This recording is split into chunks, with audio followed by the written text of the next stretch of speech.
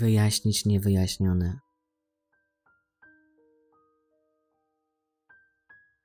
Historia, którą dziś opowiem, należy do gatunku mrocznych opowieści. Jest też w zupełności niezrozumiała dla wszystkich. Będzie to opowieść o pasji i spełnianiu marzeń, zakończona w sposób brutalny i przedwczesny. Zwykle pochylamy się nad polskim wymiarem sprawiedliwości i polskimi metodami operacyjnymi. Dziś przeniesiemy się jednak do Meksyku. To właśnie tam rozegrały się wszystkie wydarzenia. Ta sprawa nie będzie dotyczyć ostatnich głośnych wydarzeń. Swój początek miała bowiem w 2018 roku. Podróżnik, który był pełen pasji i planów na przyszłość, postanowił przejechać przez obie Ameryki, wyłącznie używając do tego celu roweru. Jego kolejnym planem miała być wyprawa do Afryki. Niespodziewanie w kwietniu 2018 roku, podczas jego pobytu w Meksyku, doszło do wydarzeń, do jakich nigdy nie powinno dojść we współczesnym świecie. Życie podróżnika zostało przerwane. Powody nigdy nie zostały do końca ustalone. Jedyna wiedza w sprawie to ta pochodząca z nieoficjalnych źródeł. Tylko przypadek sprawił, że rodzina mężczyzny dowiedziała się o jego śmierci. Gdyby nie równoczesne zaginięcie innego podróżnika pochodzącego z Niemiec, bohater tego materiału spocząłby na zawsze w bezimiennym grobie. Zapraszam do wysłuchania historii Krzysztofa Chmielewskiego.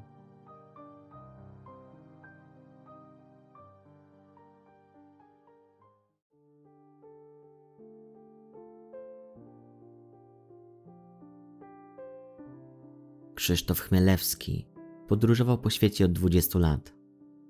Przez ten czas odwiedził ponad 50 krajów.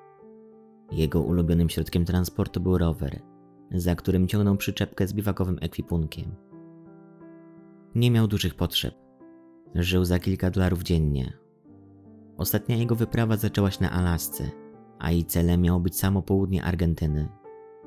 Jadąc przez Meksyk, zakochał się w tym kraju i jego mieszkańcach. Podróże były dla Krzysztofa sensem istnienia. Najbardziej cenił w nich możliwość poznawania nowych kultur. Chciał stale uczyć się nowych języków. Krzysztof potrafił komunikować się aż w siedmiu językach świata.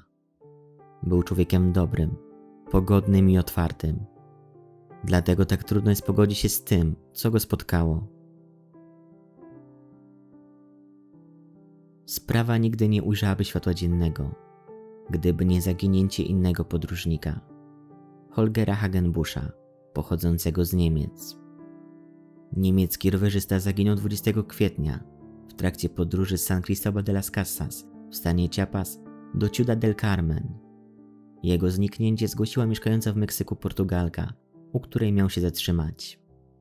Natomiast w tym samym czasie poszukiwania kolarza za pośrednictwem mediów społecznościowych rozpoczął jego brat, Rainer Hagenbusch. Mężczyzna wrzucił do sieci post. Mój brat Holger zaginął 11 dni temu. Podróżuje rowerem po Meksyku. Jego celem było Ciudad del Carmen, ale nigdy tam nie dotarł. W San Cristobal urywa się po nim ślad i od tamtej pory nie ma od niego znaku życia. Byłoby wspaniale, gdyby ktokolwiek go widział lub cokolwiek o nim słyszał.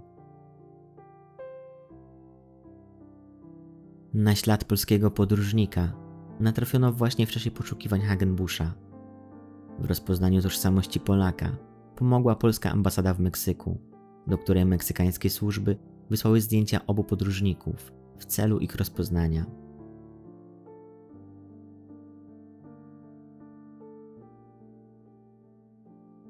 Ostatni post Krzysztofa.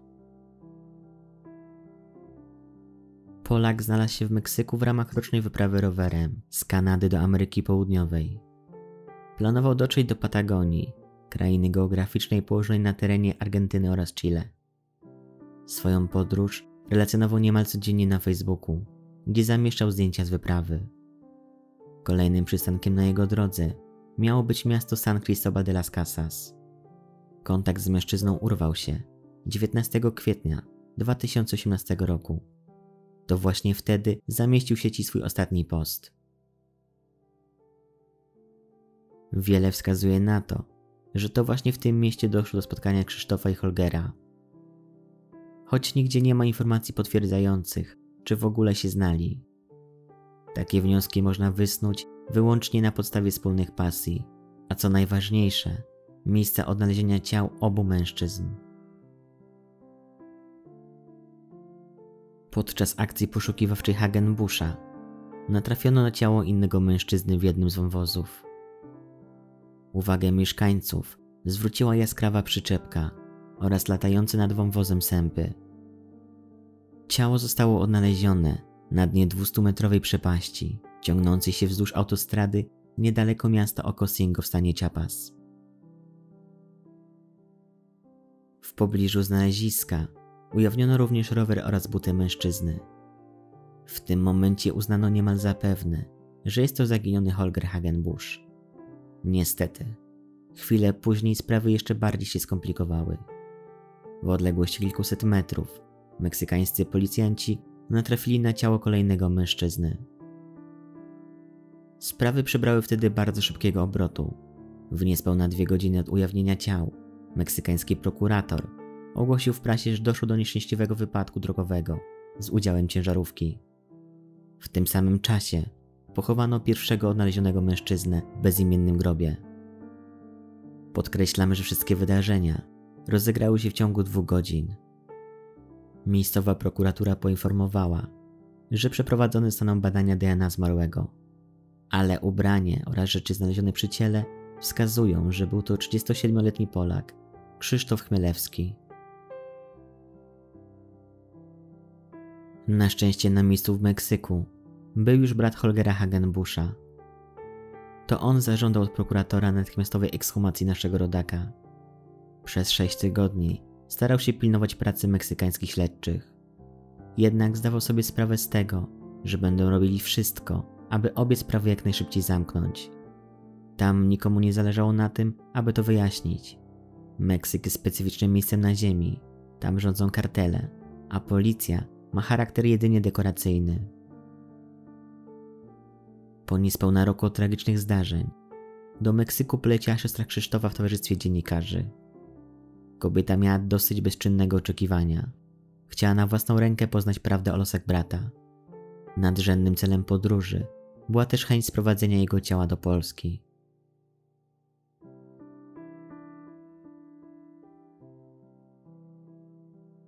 Meksyk ma inne zasady.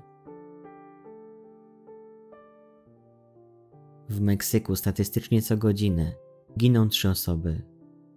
Kreten ma olbrzymi problem ze zwalczaniem karteli i zapewnieniem bezpieczeństwa obywatelom.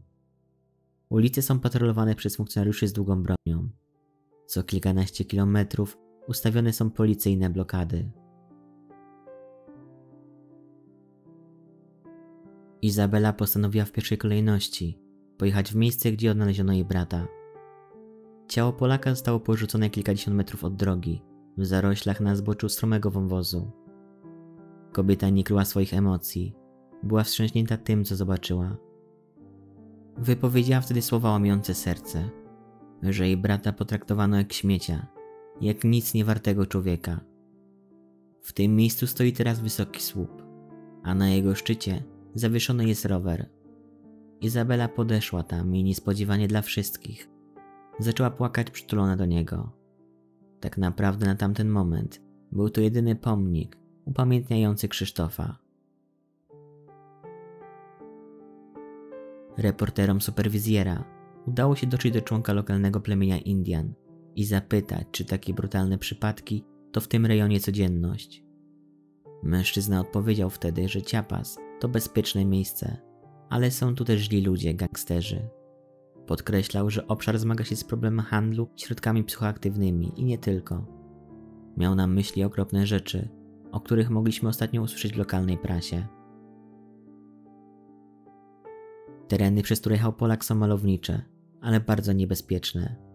W okolicy działają liczne grupy przestępcze, słynące z zbiorowych egzekucji, tortur, świadczenia swoich ofiar. Prokuratura stanowa w początkowym okresie śledztwa próbowała wmówić mediom, że Krzysztof został potrącony przez ciężarówkę i był to zwykły wypadek drogowy. Jeszcze przed wylotem z Polski reporterzy umówili się na wywiad z szefem Wydziału Zabójstw prokuratury stanowej w Meksyku. W spotkaniu miała wziąć udział również siostra Krzysztofa. Po dotarciu na miejsce Izabeli i mówiącej po hiszpańsku dziennikarce superwizjera odebrano telefony i aparaty. Zabroniono cokolwiek nagrywać. Ekipie telewizyjnej kazano czekać na zewnątrz. Kiedy policja zorientowała się, że nagrywany jest budynek prokuratury, reporterom odebrano paszporty i zaprowadzono ich do pokoju przesłuchań. Dalszy materiał rejestrowany był w ukryciu. Siostra Krzysztofa musiała przez ponad 8 godzin składać zeznania. W tym czasie ekipa telewizyjna była odizolowana w pokoju przesłuchań. Po wyjściu z gabinetu prokuratora, Izabela nie potrafiła kryć swoich emocji. Pokazano jej wtedy akta sprawy, a w tym drastyczne fotografie z miejsca zdarzenia. Wtedy też po raz pierwszy dowiedziała się, przez co musiał przechodzić jej brat. Sprawcy byli okrutni i bezwzględni. Dotychczas nie spotkałem się jeszcze z tak bestialskim zachowaniem. Pozwolę sobie nie cytować opisu obrażeń. Dla chętnych informacje te będą zawarte w linkach źródłowych pod opisem tego materiału. Po wielu prośbach Izabeli, meksykańska prokuratura późno w nocy wynajęła prywatną firmę pogrzebową, aby siostra Krzysztofa miała szansę zobaczyć jego ciało. Obiecano jej, że jest zachowane w dobrej formie, ponieważ zostało podane procesowi balsamacji. Jednak na miejscu okazało się, że na stole wyłożono same kości. Izabela była w tym momencie bardzo zaskoczona. Dopiero później okazało się, że tego dnia wydano polecenie przygotowania ciała w ten sposób. Jako oficjalną przyczynę decyzji podano, że chciano zaoszczędzić kobiecie przykrego widoku.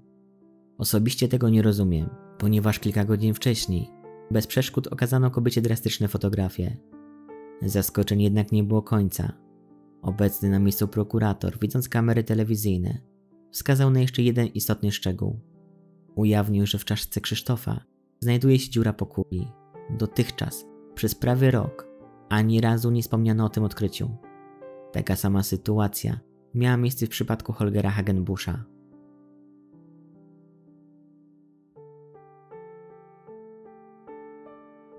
Niebezpieczny teren. Siostra Krzysztofa nie ufała meksykańskim śledczym. Chciała na własną rękę dowiedzieć się jak najwięcej o okolicznościach śmierci brata. Reporterzy superwizjera poprosili o pomoc lokalnego aktywistę, Juanjo. Razem z nim ruszyli w okolice, gdzie została odnaleziona dwójka podróżników.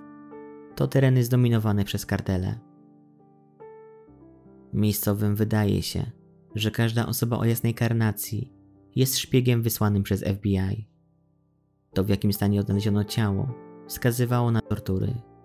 Było widać ślady po uderzeniach. Juanjo miał wrażenie, jakby Krzysztof był przesłuchiwany, żeby wydobyć od niego informacje, kto go wysłał i po co. W rejonie Abasolo swoją strefę wpływów ma kartel Jalisco Nowa Generacja. To bardzo brutalni ludzie. Na wzgórzach Abasolo mają poukrywane plantacje opium. Mógł to być potencjalny motyw tragedii, która rozegrała się w kwietniu 2018 roku. Niewykluczone, że Krzysztof Chmielewski i Holger Hagenbusch zobaczyli coś, czego nie powinni. Mogli też nieświadomie wejść na teren należący do Jalisco Nowa Generacja. Mogło to się wydarzyć, choćby w momencie szukania miejsca na rozbicie noclegu. Jedna błędna decyzja mogła zaważyć na losach obu mężczyzn.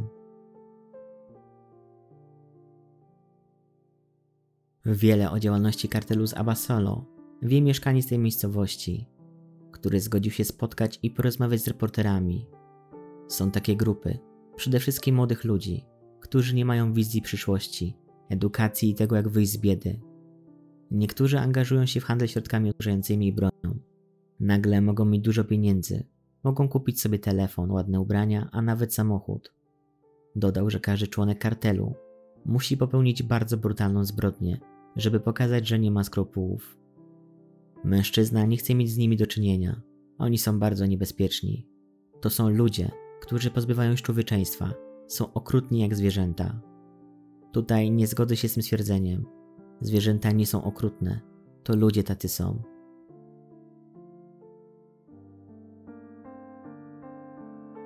Brat Holgera wielokrotnie domagał się zdecydowanych działań w śledztwie.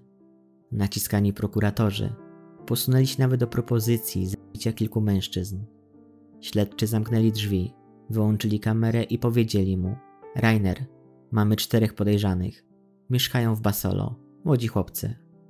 Mężczyzna odpowiedział na to: Jeżeli wiecie, kto to zrobił, to ich złapcie. W odpowiedzi usłyszał, że śledczy mają plan. Trzech z nich zastrzelą, a jednego najmłodszego, który niedawno wstąpił do tej grupy, wezmą jako świadka do sądu.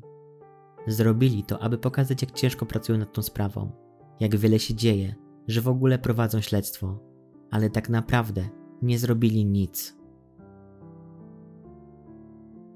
Reporterzy zatrzymali się 10 km od siedziby kartelu. Okoliczni mieszkańcy bali się rozmawiać o śmierci dwójki podróżników. Jedynie przewodnikowi zdradzili kilka informacji. Powiedzieli, że rowerzyści nigdy tam nie dojechali. Ostatnie miejsce, w którym widziani byli żywi, to było Abasolo. W tym samym czasie do reporterów podjechał radiowóz. Policjanci pytali, kim są, robili zdjęcia. Nie minęło kilka minut, gdy reporterów otoczyło kilkunastu policjantów. Sytuacja była nerwowa. Policjanci wyposażeni byli w karabiny. Teoretycznie nie było to aresztowanie, ale reporterzy nie mogli poruszać się samodzielnie. Jechali pomiędzy radiowozami. Na stacji benzynowej próbowali negocjować z policją, ustalić, kto przysłał służby. Policjanci dostali nakaz od prokuratora, że ekipa telewizyjna musi jechać prosto do hotelu. Na rozkaz prokuratury ekipa telewizyjna nie mogła już nic więcej nagrywać ani zadawać pytań mieszkańcom. Śledztwo musiało zostać zakończone. Jedyne na co się zgodzili policjanci to zabrać Izabelę na cmentarz w Okosingo, gdzie w zbiorowej mogile początkowo pochowany był jej brat. Tydzień po powrocie Izabeli z Meksyku do kraju sprowadzono szczątki Krzysztofa Chmielewskiego. Powyższy materiał jest streszczeniem reportażu programu Superwizjer, wyemitowanego w stacji TVN, współautorstwa Macieja Dopierały. Na koniec tego materiału chciałbym skierować się do Państwa z apelem. Jeśli wiedzą coś Państwo o wspomnianych sprawach, coś co pozwoliłoby doprowadzić do ich zamknięcia, nie bójcie się anonimowo skontaktować. Mogą Państwo to zrobić, pisząc na adres e-mail zamieszczony w opisie każdego materiału lub bezpośrednio pod numerem telefonu 997. Dziękuję za wysłuchanie tego podcastu. Trzymajcie się.